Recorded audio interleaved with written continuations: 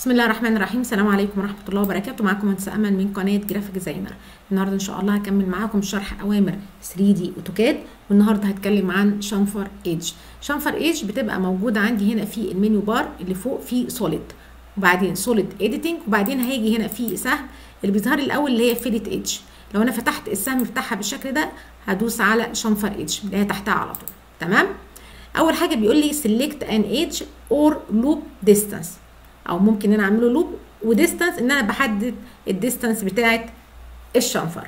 طيب select an edge لو أنا محددة ال distance أصلا وعارفاها.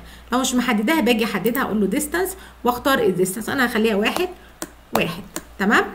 وآجي أختار ال edge اللي أنا عايزاه. أهو شايفين ده؟ أنا كده بختار ال edge اللي أنا عايزاه. كده أنا عملت له chamfer. وادوس بيمين الماوس enter وبعدين enter هنيجي نشوفه مع بعض. أهو. طيب هنيجي نعمل shaded أهي. شايفين؟ يبقى أنا كده عملت chamfer طيب هنرجع تاني 2D wireframe وهاجي هقول له chamfer edge واختار هنا في الحالة دي loop تمام؟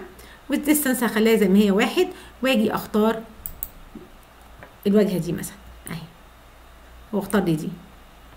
طيب لو أنا مش عايزاها بعمل إيه؟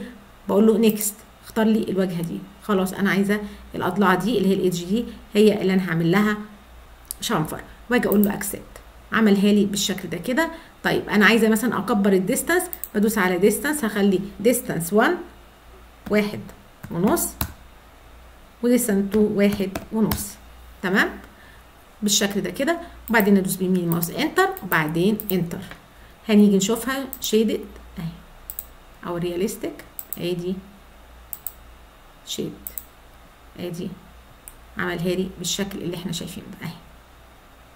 يبقى أنا loop عمل لي الاضلاع كلها اللي موجوده الاربع اضلاع بتاعته.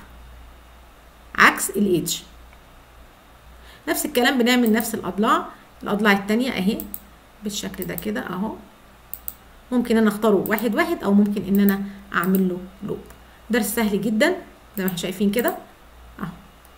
بكده أنا خلصت الدرس بتاعنا النهارده. يا رب تكونوا استفدتوا منه. إذا استفدتوا منه ما تنسوش like و share و subscribe من أسفل الفيديو وتفعيل الجرس علشان يوصلك كل جديد. السلام عليكم ورحمة الله وبركاته.